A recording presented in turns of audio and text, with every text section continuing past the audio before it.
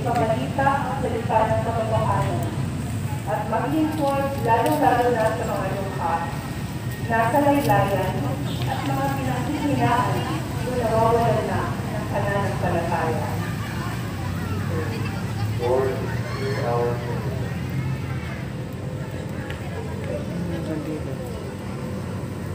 Para sa mga tinawag ng talento sa Manila, sa inyo magamit ang regalo ng talento.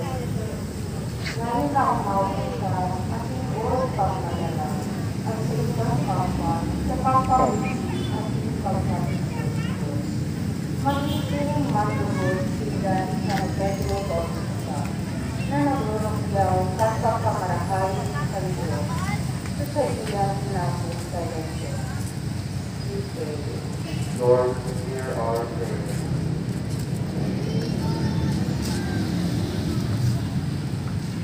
for golfers, for tips and how